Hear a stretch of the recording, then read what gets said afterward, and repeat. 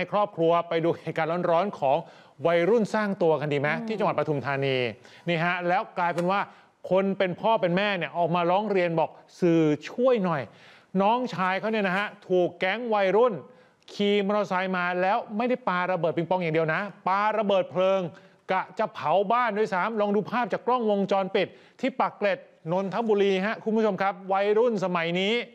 ขี่มอเตอร์ไซค์กันมาเป็นแก๊งเลยมอเตอร์ไซค์5คันรวมกันมา6เอ่อ10 คนนี่ภาพมาแล้วนี่นี่จุดไฟ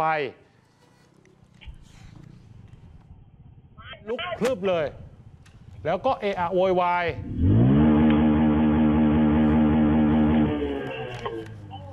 ปาระเบิดปิงปองต่อเนี่ยนะฮะจุดเกิดเหตุก็คืออยู่ในพื้นที่แถวหมู่บ้านชุมชนราชพฤกษ์ซอยสุขประชาสารนี่ได้ยินเสียงตุ้มไหมฮะ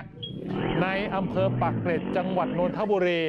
หารกล้าขนาดปาระเบิดเพลิงไปใส่บ้านของชาวบ้านเขา เรามีกล้องวงจรปิดตัวใหม่เพิ่มเติมมาด้วยลองดูหน่อย เป็นภาพที่ทางของอบตเนี่ยจับกลุ่มวัยรุ่น จับวงจรปิดนี่ตอนที่ขี่มอเตอร์ไซค์มาเนี่ยนะฮะเพื่อจะไปบ้านของในฟลุกซึ่งเป็นคู่กรณีเนี่ยมาดูลาดเราแล้วก็มุ่งไปที่บ้านก่อนจะปาระเบิดเพลิงเข้าใส่ ลองดูบ้าน จุดเกิดเหตุคือบ้านของในฟลุกมีกล้องวงจรปิดอีกตัวหนึ่งที่เขาจับภาพเอาไว้ได้ จะเห็นเลยนะฮะว่าช่วงจังหวะที่ชาวบ้านเดินมา แล้วเอาขยะจะไปเตียมทิ้งนอกบ้านเนี่ยมันมีแสงไฟลุกพลึบเลยนี่ฮะกลุ่มวัยรุ่นเนี่ยขี่มอเตอร์ไซค์มา แล้วก็ปาระเบิดระเบิดเพลิงด้วย ระเบิดปิงปองด้วย ชาวบ้านแถวนั้นเขาบอกเลยนะ ตกใจมากแล้วเหตุการณ์เนี้เกิดขึ้น 11 พฤษภาวันที่ 11 พฤษภาที่ผ่านมาช่วงประมาณ2ทุ่มกว่าๆอยู่ในบ้านเนี่ยทุกอย่างสงบเงียบแต่กลายเป็นว่า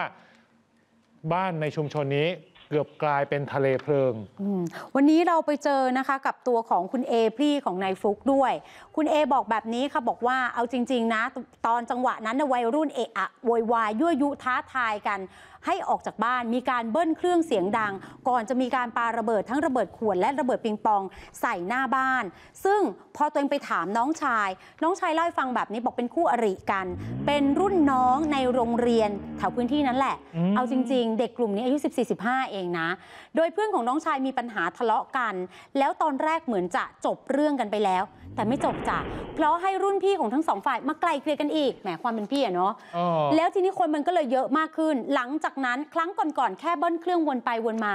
รอบนี้ยังไงฉันก็ต้องแจ้งความ รอบนี้ยังไงฉันก็ต้องบอกตำรวจเพราะอะไรเพราะรอบนี้มันมีระเบิดด้วยอืมถ้าอีกหน่อยมันเอาอาวุธปืนยิงใส่บ้านฉันจะทำยังไงครับฟังเสียงน้องเอค่ะ เพื่อนของน้องชายครับ มีปัญหากับฝ่ายโน้นแล้วเหมือนว่าเขาตามที่เด็กบอกว่าเขาโทรเคลียร์กันแล้ว แต่ทางเด็กฝ่ายนู้นเขาไม่ยอมจบ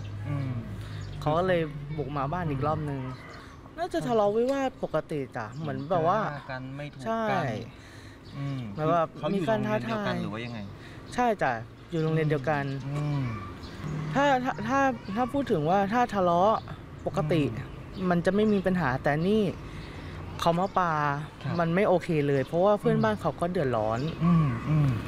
แจ้งความแล้วด้วยนะฮะ ที่สพปักเกร็ดตำรวจกำลังอยู่ระหว่างการตามล่าตัวแก๊งวัยรุ่นกลุ่มนี้ แล้วลองคิดดูนะ คุณผู้ชมน้องเก๋ คือถ้าระเบิดเพลิงเนี่ยไอ้ระเบิดขวดเนี่ยมันไปลุกพลึบติดบ้านเขาขึ้นมาเนี่ย คือข้อหาวางเพลิงเนี่ยหนักกว่าปาระเบิดปิงปองนะอืมโอ้แต่ยังไงอะตำรวจไปดูหน่อยละกันครับเขาบอกว่าแจ้งไปก็เกิดเหตุแบบนี้หลายครั้งแล้วโอ้แถวแถวปากเกร็ดเขาบอกตีกันบ่อย ใช่เออ